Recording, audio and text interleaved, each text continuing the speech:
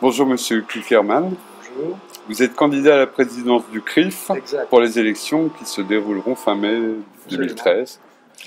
Pouvez-vous nous retracer rapidement votre itinéraire personnel? Euh, j'ai fait. euh, je suis né à Paris, euh, j'ai fait des études euh, supérieures, j'ai fait le SCP, une licence en droit, un doctorat d'économie. Je suis entré dans le groupe Edmond Rothschild, où j'ai fait toute ma carrière. J'ai démarré euh, en bas de l'échelle, j'ai terminé président du groupe. Euh, Lorsqu'Edmond Rothschild euh, est mort, j'ai quitté le groupe et c'est à ce moment-là que j'ai été élu à la présidence du CRIF en 2001. Mais j'avais toujours été extrêmement actif dans les institutions juives. J'étais membre du comité directeur du Fonds social Fier. J'étais trésorier de l'OPEJ, l'œuvre de protection de l'enfance juive. J'étais administrateur du CASIB Cojazor. Mhm. Euh, Je suis entré à l'Alliance israélite universelle, dont je suis aujourd'hui vice-président. Je suis encore aujourd'hui euh, trésorier de la Fondation pour la mémoire de la Shoah, etc. Et vice-président du Congrès juif mondial. Le CRIF semble une institution un peu vieillissante qui a du mal à faire face aux nouveaux défis auxquels se confrontait la communauté juive française. De plus, beaucoup de grandes associations ont quitté le CRIF ou n'en sont pas membres. Pensez-vous qu'il faille restructurer l'institution et l'ouvrir plus largement? D'abord, je ne dirais pas que c'est une organisation vieillissante. Je trouve que ce serait euh, injuste vis-à-vis euh, du président sortant, Richard Pasquier, qui, me semble-t-il, a fait un bon travail. C'est vrai que le consistoire euh, et Siona, notamment, ont quitté le CRIF, mais euh, je ne veux pas rentrer dans les raisons pour lesquelles ils ont quitté. Je reviendrai sur euh, la question générale de l'élargissement et de l'ouverture du CRIF. Je crois en tout cas que ce qui est nouveau et ce qui motive mon engagement dans cette nouvelle élection, c'est que finalement il s'est passé des événements nouveaux euh, qui ont complètement changé la donne.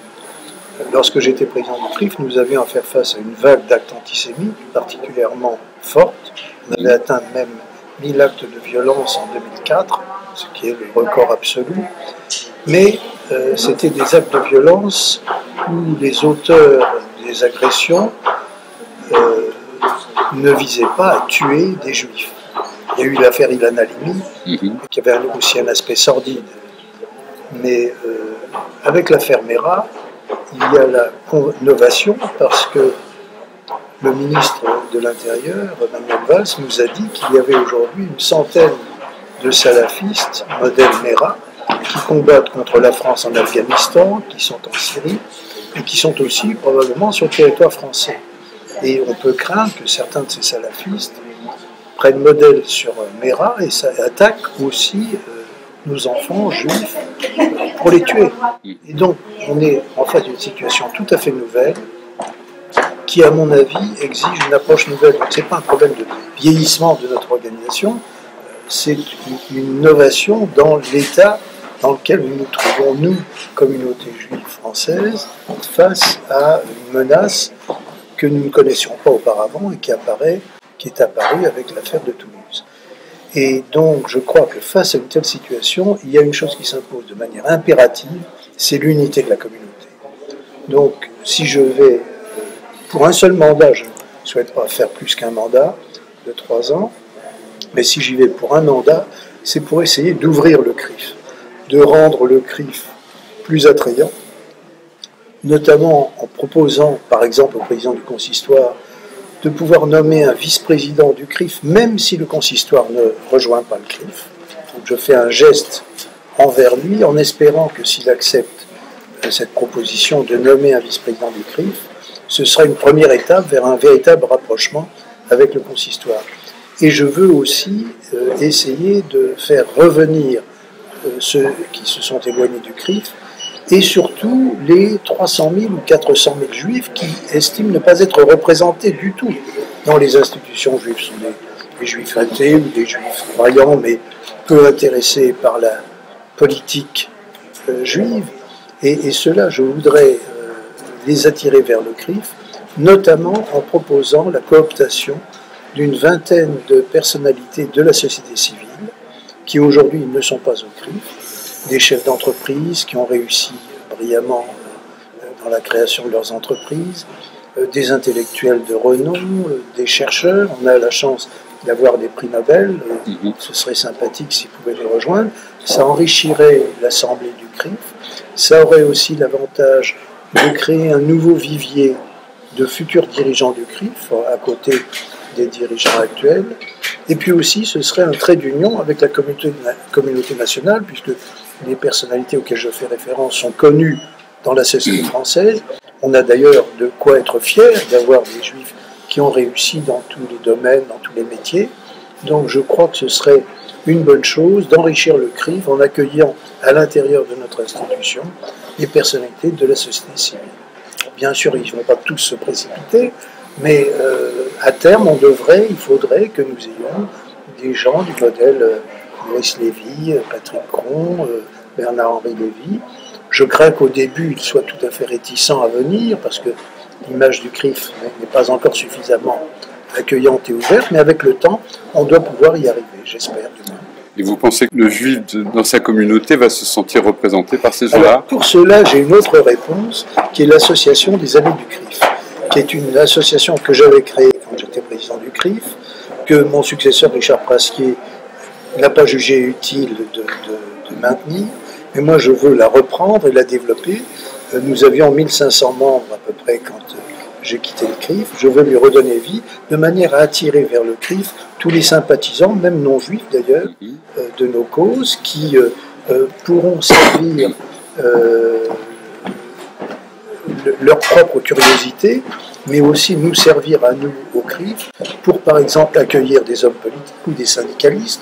J'ai assisté à une réunion il n'y a pas très longtemps avec le, secrétaire général de Force ouvrière, Maï, qui est une personnalité de première importance. Il n'y avait dans la salle du CRIF où on a accueilli cette personnalité qu'une quinzaine de personnes. Face à une personnalité de cet acabit, il faudrait qu'on ait 200, 300 personnes. Donc on a besoin de cette armée de sympathisants qui viendrait accueillir euh, nos hommes politiques et les personnalités qu'on recevrait, qui euh, nous aiderait quand on fait une manifestation, je pense au 7 avril 2002, où on avait 150 000 personnes de la République à la Bastille, eh bien, ça aurait été bien agréable de pouvoir utiliser ces, personnes, ces personnes qui font partie, qui feront partie de l'association des Amis du CRIF pour encadrer la manifestation, le service d'ordre. Quand on a eu l'affaire Almanar également, on a fait circuler des bus dans Paris qui montraient des images atroces de cette télévision du Hezbollah, qui montrait un pseudo-rabbin en train d'égorger un enfant. C'était des images épouvantables. On a voulu recueillir des milliers de signatures.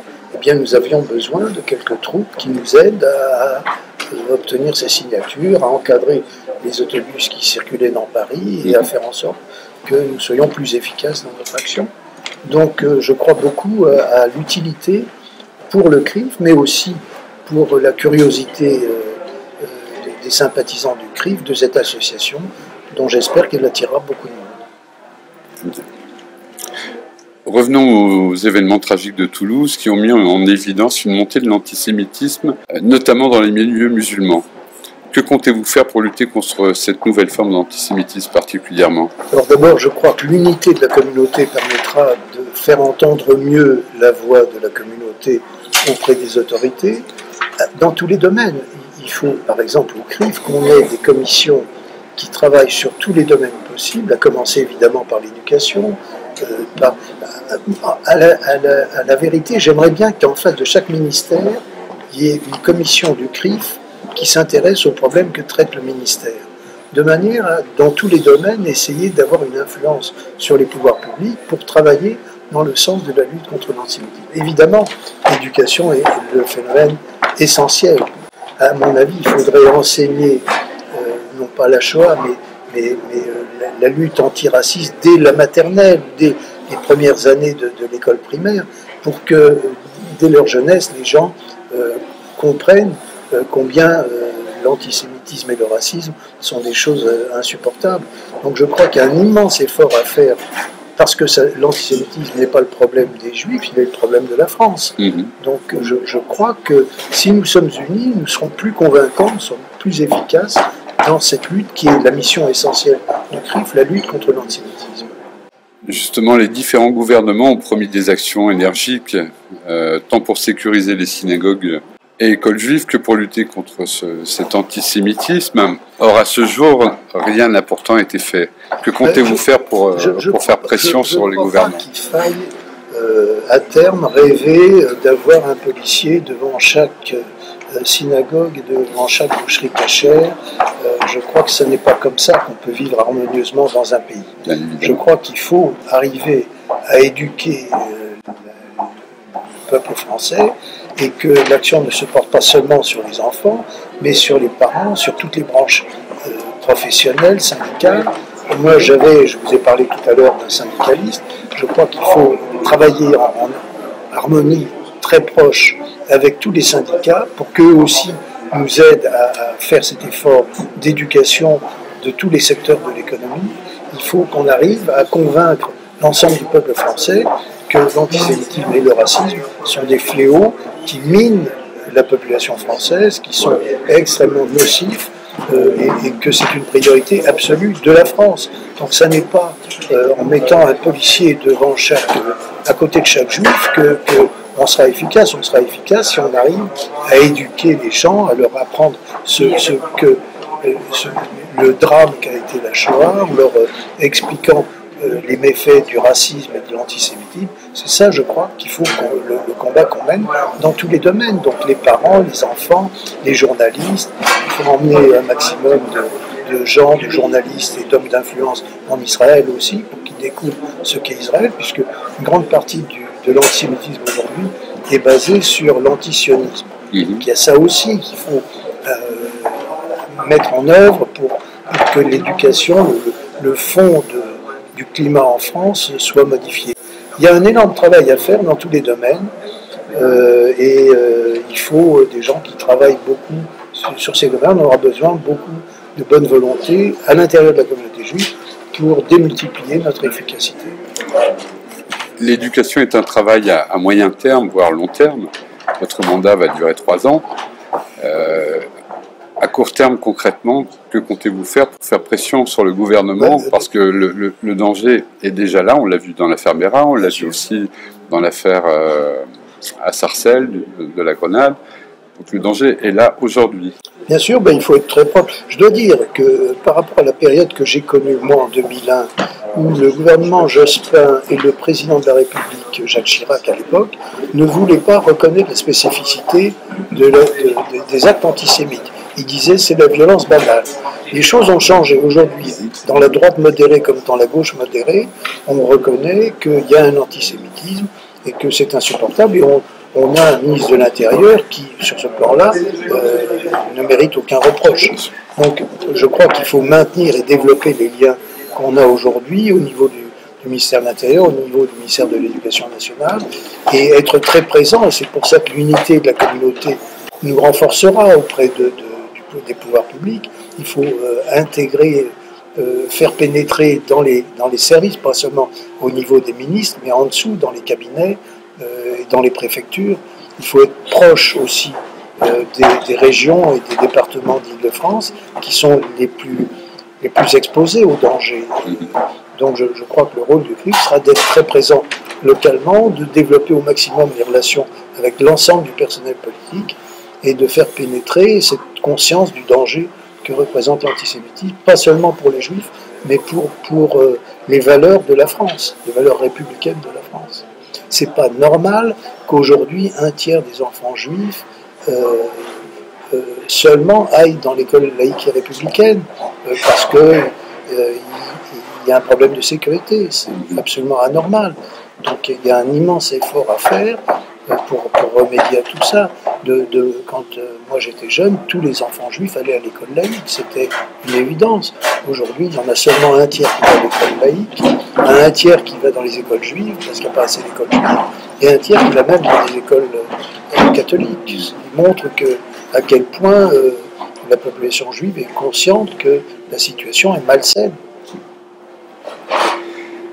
Euh, revenons à Israël. Comment voyez-vous l'articulation entre le, CRIF et Israël, justement? Alors c'est un sujet sur lequel moi j'ai évolué, parce que euh, j'ai constaté que euh, l'image du CRIF était devenue l'image d'une deuxième ambassade de l'État d'Israël. et cette image s'est d'autant plus développée, on n'entendait pas beaucoup l'ambassadeur d'Israël sur les ondes de radio et de la télévision. Et je crois que ça, c'est très néfaste, pas seulement pour le CRIF, mais également pour l'État d'Israël. Je crois qu'il est important que le CRIF apparaisse comme le défenseur euh, de la population juive de France et pas comme le représentant de l'État d'Israël. Donc, il ne faut pas, me semble-t-il, que l'État, que le CRIF réagisse chaque fois qu'il se passe un événement en Israël, chaque fois que le gouvernement israélien prend une décision qu'on considère comme positive ou négative. Il faut être discret euh, et, garder sa crédibilité pour des événements importants. Et plus on sera discret, plus on n'apparaîtra pas au premier rang euh, comme défenseur d'Israël au jour le jour, le jour où on interviendra, on, sera plus convaincant.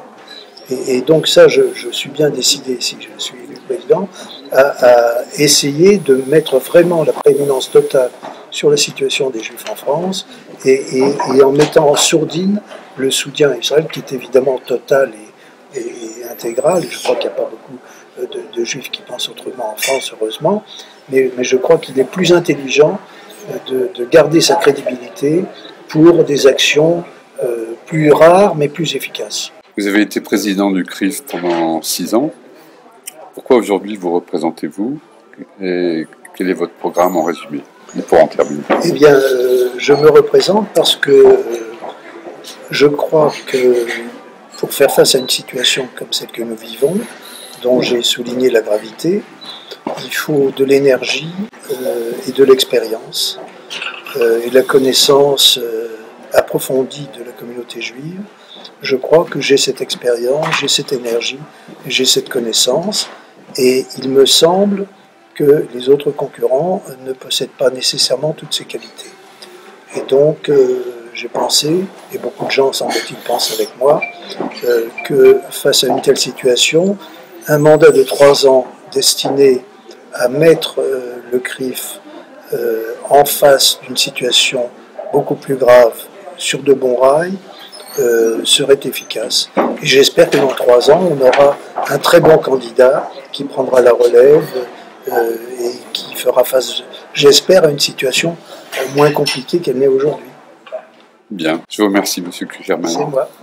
À bientôt.